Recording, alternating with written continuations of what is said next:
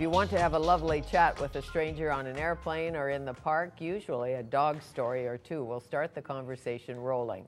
Dr. Stanley Coren tells great dog stories. He loves, studies, and writes about canines and their peculiarities.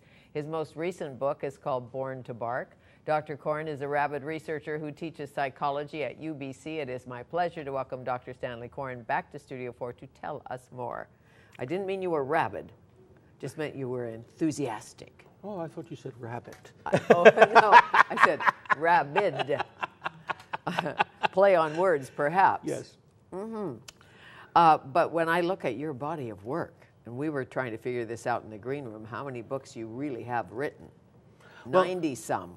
No, not, I mean I've written about 56 books, but uh, but a lot of them, uh, most people in the real world are not going to see. They're designed for either they're textbooks, uh, or they're books for instructors, or uh, they're uh, scientific uh, treatises, uh, monographs, and that sort of thing. So. Uh, Eyes glazing over on that one. well, it's it's it's it, it all have to do with the research. You know, you, you got to remember that that for uh, close to 40 years, uh, I was you know up to there in research, and the vast majority of that research was uh, neuropsychological research, and um, you know I felt I had a message I wanted to carry out, and and in between I was shoehorning in all the sort of wonderful stuff which I wanted to do on dogs, and so we were starting to do the dog research, and uh, uh, and then you know I've done about you know 10, 11 books on dogs. Uh, and people's relationship to dogs and that kind of stuff. So, Mhm. But when you were a young lad in Philadelphia, I thought you wanted to be an astronaut. I well, it, it, it's really true. I mean, you know, it, it was that it was that time. They had just, you know, were just put up Sputnik, and it was presumed that anybody who was going to university was either going to be, you know, a uh, physicist, an astrophysicist, or an engineer, or some sort of rocket scientist. And of course, you know, that, that's the way my parents were pushing me. I mean, you know, they didn't want me to be a, you know, a psychologist. I mean, at that point in time, you mentioned psychology, they thought Freud. My mother would say, no, no, you, you don't want all that sex stuff. No, no, no. Go, go over to the Carl Jung side or do something. But but the point is, the Cold War was rocketing right along, and we were trying to beat the Russians. Yep. Well, the United States was trying to beat the Russians to space, all of that, Yep. back and forth. But they put two dogs into space before they put humans. That's right. They put two dogs. Their names were Strelka and Belka. Uh, and they were the first uh, animals uh, uh, to orbit the Earth and to return safely. And uh, it, it, there's a fascinating connection. Um, it turns out that Nikita Khrushchev was then um, uh, the head of Russia, and uh, as the Cold War was pretty bad, it was just coming off of the Cuban Missile Crisis and all that sort of nonsense. And so, as a peace gesture, because he knew that, that the Kennedy household was filled with dogs, uh, Khrushchev gave him this little white dog called Pushinka. And Pushinka's uh, claim to fame was that she was the daughter of Strelka, and she had been born after the space flight. So Kennedy used to refer to her as the Pupnik, uh, as opposed to Sputnik. Uh, anyway, um, and now the CIA and the people at Secret Service and all that were petrified. They thought, you know, the dog has to have some sort of receiver in it to sort of monitor White House.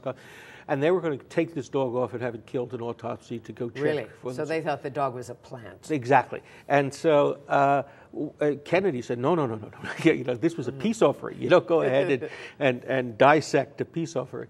Uh, so they took it to uh, Walter Reed uh, Hospital and had the dog x-rayed and gave it a sonograph. And the thermograph was a brand new thing at that time. And Right. You scanned it, and all they found inside was puppy stuff. So Oh, that's good. so the White House dog went to Walter Reed, That's right. along with all the presidents. you got it. Of You- course. You got it right. Mhm. So, uh, recently uh, in The Sun, there was a, a, a great series on what dogs mean uh, to us as therapy dogs. All of that. They can uh, make us happier, calmer. Well, the research in this is really quite interesting. Um, you know, it was back in the early 1980s. I mean, everybody sort of knew. I mean, Sigmund Freud even talked about the fact that uh, uh, if he had his dog uh, she was a chow chow, in the room with him, uh, then kids found it easier to talk, and some depressed people found it easier to talk. But uh, two interesting characters, a psychologist by the name of Alan Beck and a psychiatrist by the name of Aaron Katcher, decided to test this. So what they did was they they took people and they basically brought a dog into into the lab and they had people pet the dog. And if it was a familiar, friendly dog, in fact, they found that the heart rate slowed, the breathing became more re- regular, the blood pressure dropped. In other words, you saw all of the signs of de-stressing. And follow-up things showed that, in fact, some of the stress hormones, like the corticosteroids, uh, were much reduced in the blood. And so they said, okay, you know, this is a major uh, de-stressor. Now, there's a wonderful uh, gal by the name of um, Elaine Friedman uh, from uh, the University of Pennsylvania. And she said, I mean, she, she took the next logical step.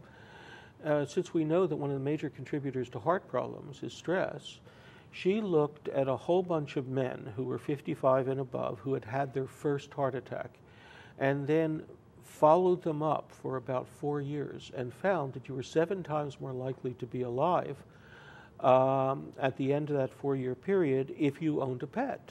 Really? And- a cat or a dog? Well, or a- yeah, uh, specifically a dog. It was the dog was seven times. Okay, there was benefit from a cat, but not as much, uh, and um, uh, but it was still a positive effect.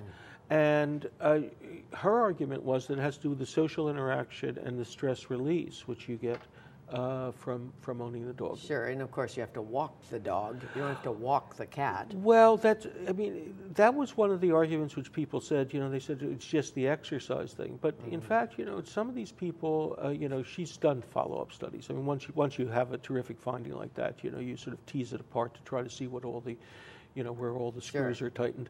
Um, and uh, she found that, you know, some people have tiny little Yorkshire Terriers who don't really get walked, they get let out on the patio or something like that.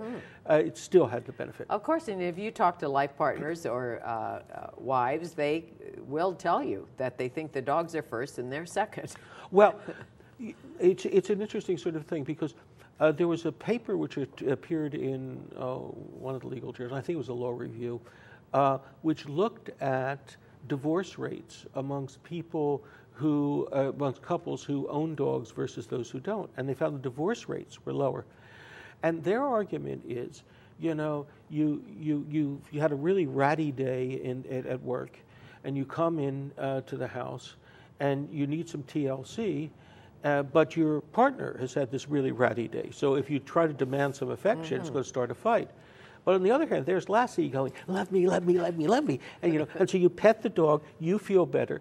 Uh, you The don't dog doesn't talk back. that's right, and you don't nudge your partner, and Mm-hmm. and so the, there's no cumulative buildup of of uh, you know any sort of antipathy, and so the marriage goes on. Well, sure, and if you have border collies, they mind. right? Says a border collie Says a border collie because they are at the top of your intelligence That's right. I list, mean, right? well- For working dogs, how does that work? And what what we did there is. Uh, uh, we went ahead and contacted every single dog obedience judge in uh, the U.S. and Canada.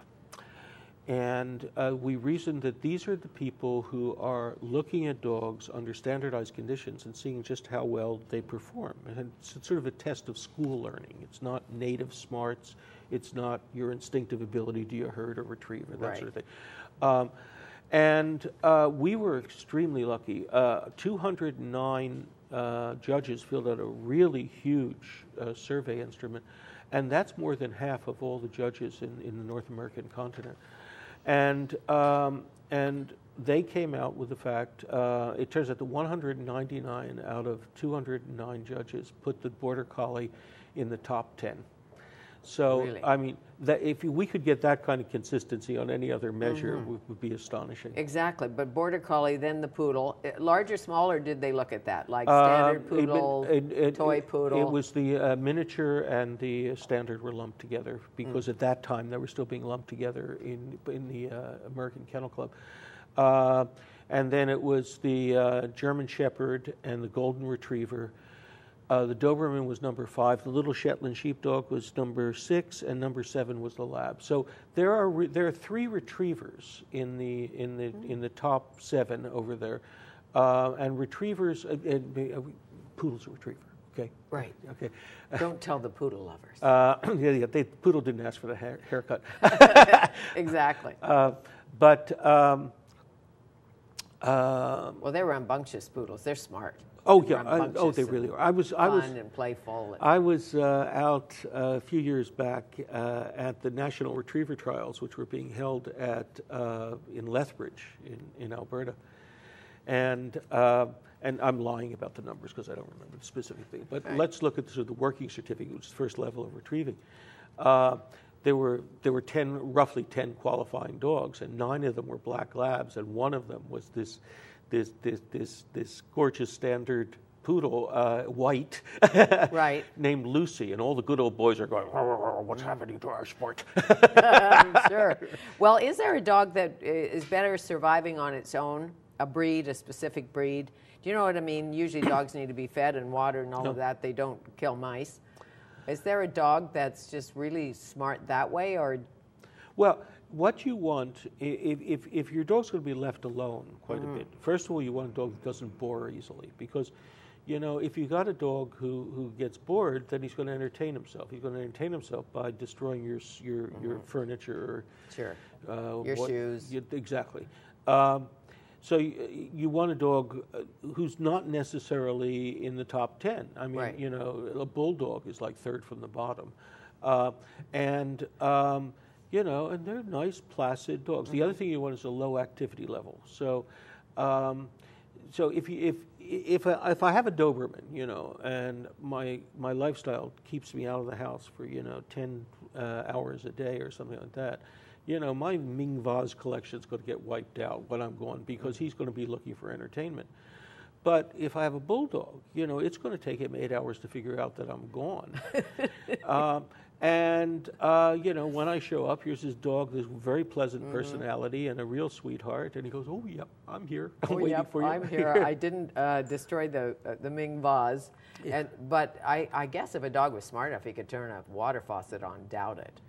Uh, let's hope that they don't learn that. I mean, the, you know, we had to install uh, safety catches in our in our uh, house uh, for all of the uh, ground level uh, cabinetry because the combination of young grandchildren um, who are getting into it, and then the dogs watch and figure out how to get Sure. into it, uh, was just disastrous. So, I mean, I don't want them, you know, turning on the, uh, Uh, the faucet. water faucets. No, that wouldn't be good. Dr. Stanley Coren, our guest, uh, How to Speak Dog, one of his books, The Paw Prints of History, his latest one, Born to Bark, and The Paw Prints of History coming out in paperback. Just it's out, not yep. just out in paperback. Good. We'll come back.